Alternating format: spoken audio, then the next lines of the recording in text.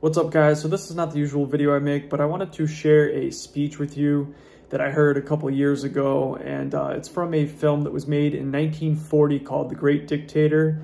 Uh, it's with Charlie Chaplin, and it's an anti-war film, and I really feel like it resonates with what's going on today with, you know, uh, the, the, depression rate being at an all-time high, and uh, it's apparent that uh, there's a state of mass psychosis in the West, and people seem to be losing their way. And, you know, when I first got injured uh, with my spinal cord injury, I was in a state of uh, extreme depression.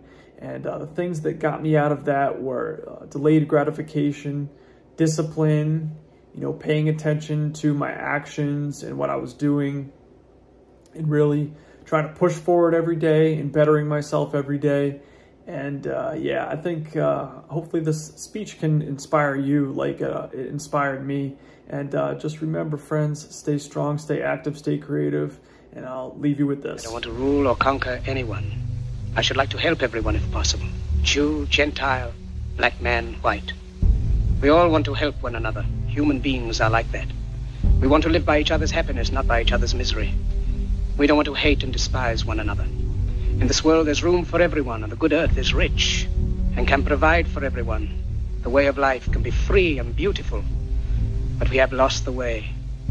Greed has poisoned men's souls, has barricaded the world with hate, has goose-stepped us into misery and bloodshed. We have developed speed, but we have shut ourselves in. Machinery that gives abundance has left us in want. Our knowledge has made us cynical, our cleverness hard and unkind. We think too much and feel too little. More than machinery, we need humanity. More than cleverness, we need kindness and gentleness. Without these qualities, life will be violent and all will be lost. The aeroplane and the radio have brought us closer together. The very nature of these inventions cries out for the goodness in men, cries out for universal brotherhood, for the unity of us all. Even now, my voice is reaching millions throughout the world.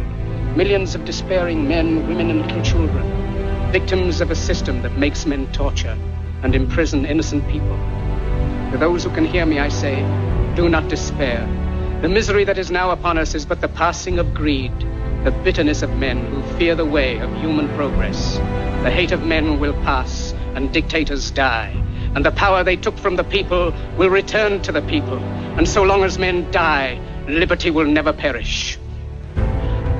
Soldiers, don't give yourselves to brutes.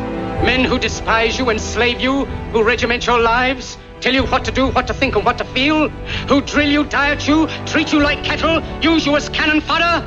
Don't give yourselves to these unnatural men, machine men with machine minds and machine hearts.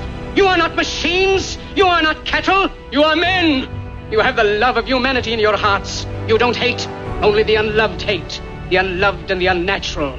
Soldiers, don't fight for slavery, fight for liberty. In the 17th chapter of St. Luke it is written, the kingdom of God is within man, not one man nor a group of men, but in all men, in you. You, the people, have the power. The power to create machines, the power to create happiness. You, the people, have the power to make this life free and beautiful, to make this life a wonderful adventure. Then in the name of democracy, let us use that power. Let us all unite. Let us fight for a new world, a decent world that will give men a chance to work, that will give youth a future and old age a security. By the promise of these things, brutes have risen to power, but they lie. They do not fulfill that promise. They never will. Dictators free themselves, but they enslave the people.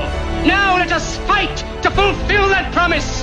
Let us fight to free the world, to do away with national barriers, to do away with greed, with hate and intolerance. Let us fight for a world of reason, a world where science and progress will lead to all men's happiness. Soldiers, in the name of democracy, let us all unite!